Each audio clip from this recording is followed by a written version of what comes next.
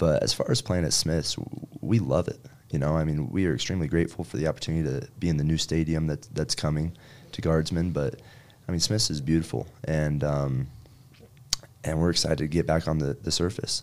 Um, as far as playing at it, I can promise you guys it's a lot more fun when we get guys out there to watch. You know, and I, I know we have a, a handful of other people from other sports that you know have said that they want to come, but but seriously, if you want to get out and go watch some good baseball, especially this week with BYU and Oregon State, you need to come out to Smith's Ballpark.